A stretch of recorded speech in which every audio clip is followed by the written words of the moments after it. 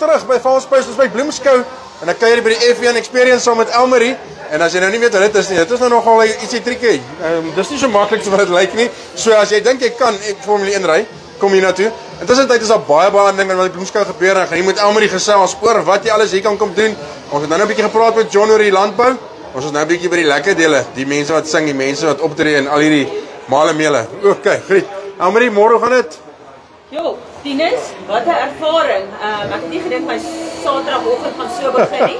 maar ja, ek kan darm sê ek het 'n klein stukkie van F1 ervaar en by die F1 simulator hier in die Tulip Saals wat nooit sommer almal uitkom ervaar dit hier so baie Formule 1 aanhangers en mense wat dit so slaas navolg. Ek het baie respek gekry vir hierdie mense, hoor. Dit is baie moeiliker as wat dit lyk.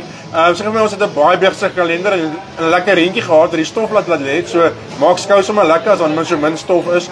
Maar ja, ons het vol kalender as ons kyk na die musiek en die dinge en dan natuurlik die male meele en die goedjies is alles aan die gang. Ja, gis, dis 'n lekker Saterdag, so dis heerlike skou weer.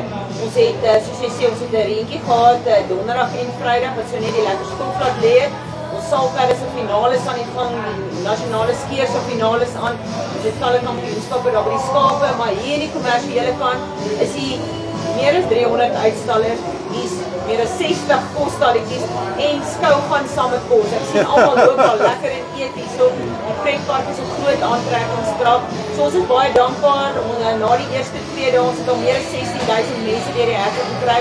So ons is baie baie dankbaar, maar ek wil almal uitnooi. Kom kuier saam. Hierdie was vir my 'n ervaring en as ek dit kan doen dan ek seker dan kan elkeen na buite dit doen. Ja, en dan kan jy die volle program kan natuurlik gaan kyk op julle webtuiste Bloemskou dit sê dit sê hy daar kan jy kyk wat is dit Bloemskou dit Bloemshow. Ja, op Bloemskou vir die Afrikaanse ja. Bloemskou die data, maar die Engels die Bloemskou dat sê dat dit jou werk ook.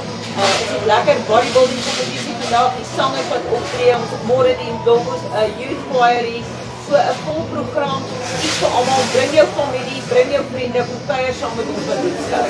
Nou baie baie baie dankie. Ons sal weer gesels. Maar ja, ek gaan jou laat jy jy verder ry en dan kyk of 'n paar karre kan afskryf. Goed, ons kry jou dan hier by die Bloemskou. Kom kuier by ons. Ons is die hele week by die by die skape. Vandag by daar by uh die Ile de France en natuurlik die wolskeer is aan die gang. Moenie van dit vergeet nie. Natuurlik het ons ook uh die van die ander rasse en die bokke wat inkom. So maak seker jy mis nie uit op hierdie wonderlike geleentheid nie. En uh, ja, kom kyk saam met ons hoe lekker dit is hier by Bloemskou.